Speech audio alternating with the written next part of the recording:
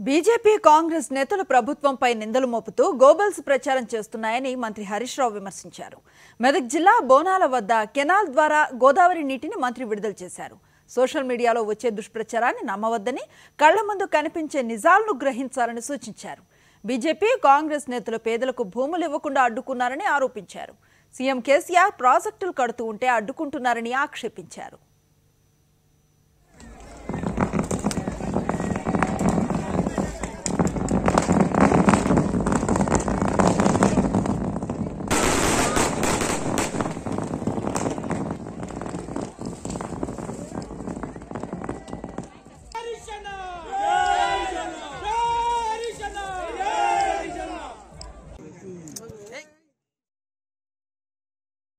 కుట్రలు చేస్తున్నారు.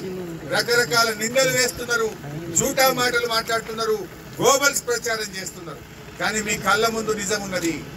ఈ టీవీలలో చూసే గోబల్స్ మాటలో సోషల్ మీడియాలో వచ్చే చెత్త ప్రచారం కాదు మనం నమ్మాల్సింది. మీ కళ్ళ ముందు కనబడుతున్న గోదావరి నీళ్ళను చూడండి. ప్రతి నెల వస్తున్న ఆసరా పెన్షన్ యాడ్ చేసుకోండి. ఇంటింటికి ఊరూరికి వచ్చి కంటి వెలుగుల్లో మీ కంటి పరీక్షలు చేసి ఉచితంగా కళ్ళద్దాలు ఇచ్చే కేసీఆర్ సార్ను ఒక్కసారి చూడండి. అది గాని ఈ జూటా మాటల బీజేపీ వాళ్ళను కాంగ్రెస్ వాళ్ళని నమ్ముకుంటే కుక్క తోక పట్టుకొని గోదావరి ఎదినట్టు అవుతుంది మన పని. ఆగమైపోతాం. వాళ్ళు చూడనోళ్ళు కాదు. ఇవాళ వాళ్ళు ఎంతసేపు పేదలను కొట్టి కార్పొరేట్లకు పెట్టే ప్రయత్నం బీజేపీదైతే సంపద పెంచి పేదలకు మంచే నాయకుడు ఇవాళ బీఆర్ఎస్ ప్రభుత్వం.